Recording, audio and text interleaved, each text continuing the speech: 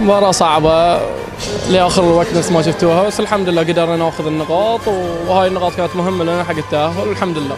لا مو هداف البطولة إن شاء الله إحنا نطمح مو بحق يعني ما أطمح حق الهداف ولا شيء بس إن الفريق يوصل للمراحل النهائية وإن شاء الله فالنا البطولة إن شاء الله.